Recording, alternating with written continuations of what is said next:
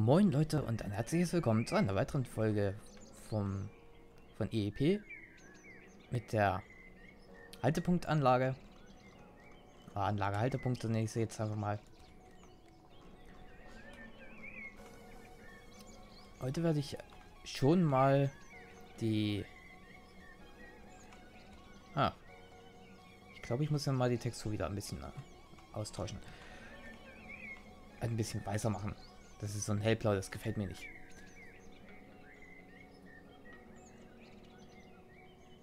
Das kann ich aber nur selber machen. Und ich glaube, ja, vom Konto. Ich hatte es schon mal gemacht gehabt, muss ich dann mal schauen, wo die Texturen sind. Ich habe das nämlich mal neu installieren müssen, weil da was nicht ganz hingehauen hat. Also Neuinstallation. Da hat er mir aber auch die Texturen überschrieben.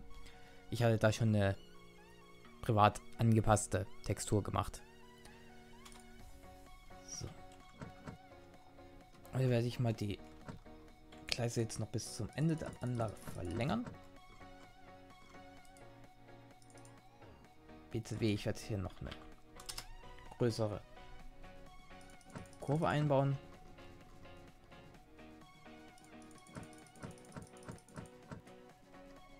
Den hier bis zum Ende geht.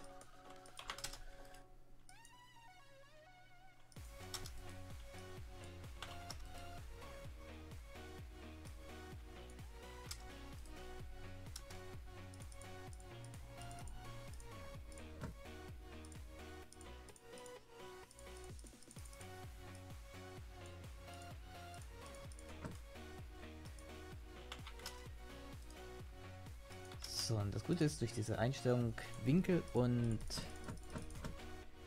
äh, nicht Winkel, ja Gleislänge und Radius kann ich hier ganz einfach die Gleislänge verändern und der Radius bleibt gleich. Bringt den Vorteil, dass ich jetzt hier die Gleislänge variabel dann anpassen kann. So, jetzt brauche ich nochmal die Schottertextur.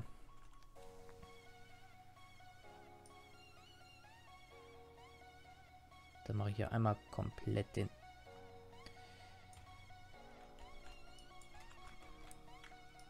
Gleise hier entlang.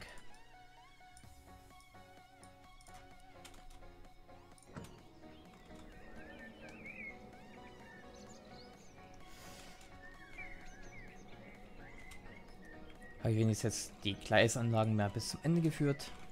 Kann ich jetzt auch ungefähr mal abstecken, wie groß die Anlage mal werden soll. Also wie viel Maximum halt an Gleislänge verbaut wird und wie breit ich die Anlage überhaupt bauen werde.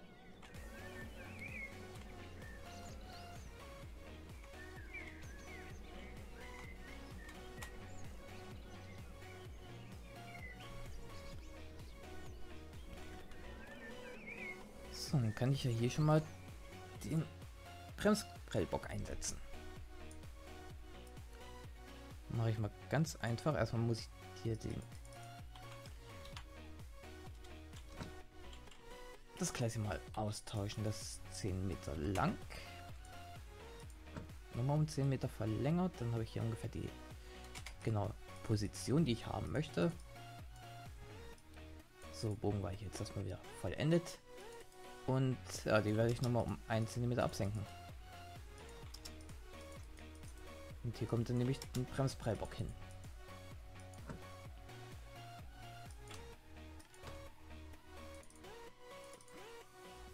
So, unter Gleiszubehör. Mal sehen, werde ich entweder den oder den oder den. Ich nehme den.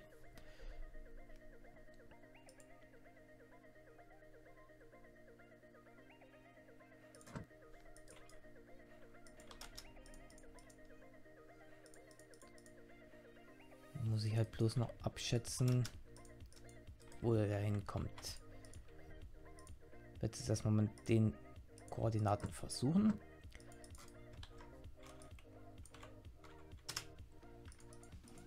So, nächste Koordinate ist dann 9,57. Minus 9,57.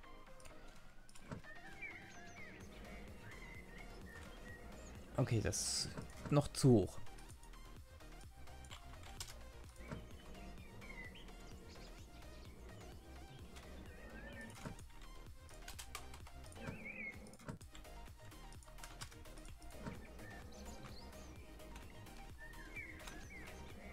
So, passt und dürfte auch nicht ins Lichtraumprofil reinragen. Ansonsten verschiebe ich den halt noch ein Stück. Kann ich das gleich mal entfernen und das hier nochmal auf entsprechende Meter verlängern. So dass es dann so aussieht.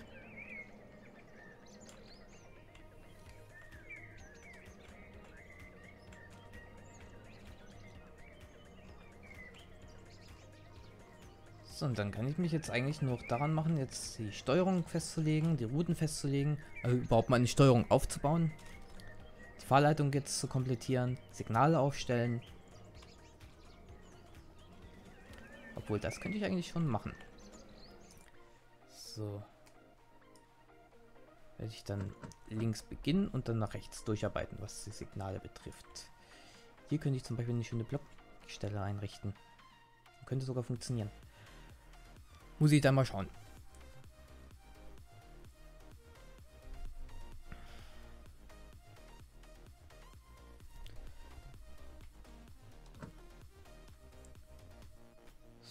Das sind jetzt 200 Meter, möchte ich natürlich als eine Art Mindestabstand einhalten. Nehmen wir das Gleis hier, drehe das einfach mal ein Stück um. So, und jetzt kann ich nämlich die Signale akkurat parallel zueinander setzen. Ich werde hier KS-Signale, also Kompaktsignale einsetzen, nach dem Standard der HL-Signale. Also ein in der, ich glaube, das dürfte tatsächlich DDR sein, also von der Reichsbahn. Mit den Signalbildern. Hoffe ich jetzt mal zumindest, dass ich da jetzt richtig liege.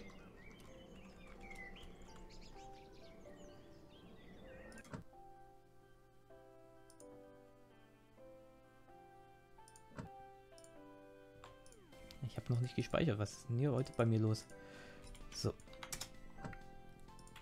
Und das sind dann sozusagen die ersten Signale, die ich einsetze. Das sind die Einfahrsignale. Und ja, muss ich das hier bloß noch um auf den Bremswegeabstand einstellen. Das wären dann 100 Meter. 50, 200, 300, 400 sind 500 Meter, 600, also 1000 Meter sollten es mindestens sein. 700, 800 wären dann hier am Ende der Brücke. 900, hier sind 1000 Meter.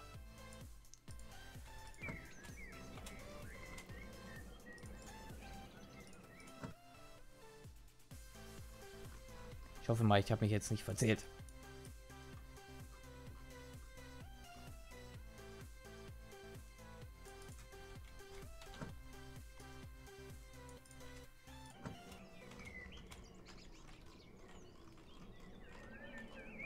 So, jetzt haben wir hier Einfahrsignale mitsamt Vorsignalen.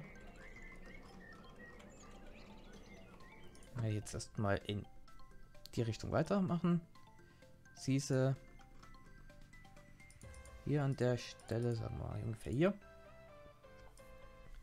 Jetzt wieder die Gleise mal drehen. Das dürfte in 3D eigentlich kaum auffallen. Ah, kaum. Wenn man es weiß, dann sieht man es, ansonsten nicht.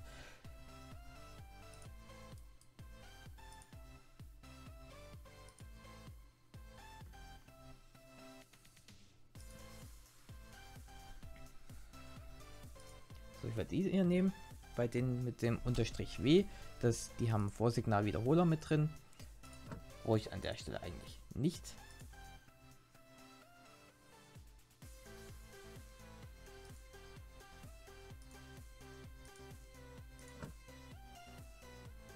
So, und bei diesem RM bzw. LM, bei den Einfachsignalen war das der Fall. Das bedeutet dann halt bloß, dass es ein Ausleger ist, also Auslegermast und der Buchstabe davor, vor dem M, gibt dann an, der rechts vom Gleis steht oder links vom Gleis. Und GM ist dann einfach nur Gittermast. So, jetzt brauche ich einen mit einem mit dieser Anzeige für Gegengleisfahrt. Und dann einen mit fest montiertem ZS3. Ups, da ist mir einer mit Wiederholer untergekommen. Die Wiederholer haben in der Regel keinen Indusi-Magneten oder PCB-Magneten.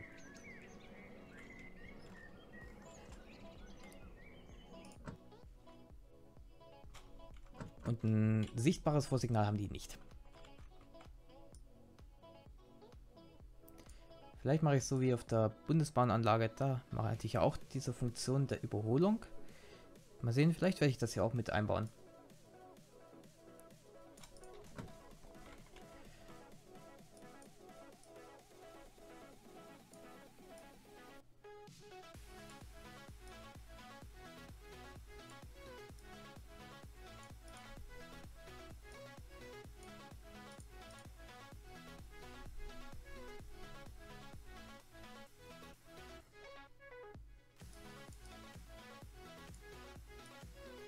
So, und die hier in der Mitte werde ich natürlich noch ein bisschen weiter wegschieben.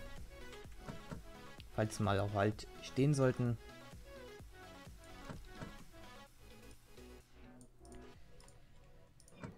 Mit der Zug, der nicht, der hier in der Mitte mit 140 durchfährt, nicht abrupt abgebremst wird.